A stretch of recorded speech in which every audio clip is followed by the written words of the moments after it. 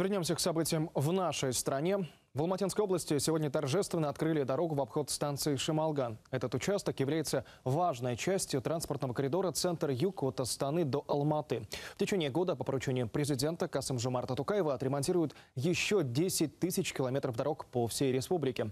Где появятся новые автомагистрали, выясняла Алия Мирбек. Эту дорогу, обход станции Шамалган, местные жители ждали много лет. Раньше трасса республиканского значения была двухполосной и пересекала железнодорожные пути.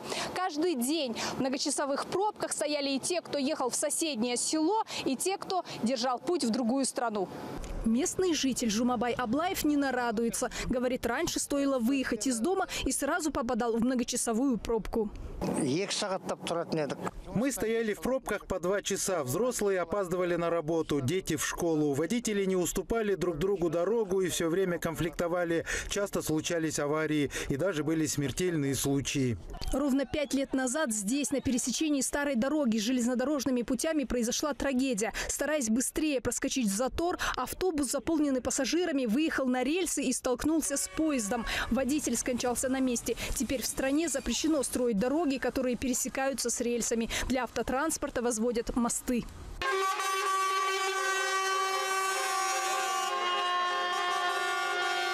Сейчас по стране идет ремонт 12 тысяч километров дорог. Таких объемов не было за последние 30 лет. Было принято решение здесь строить транспортной развязкой а, с пересечением железной дороги в двух уровнях.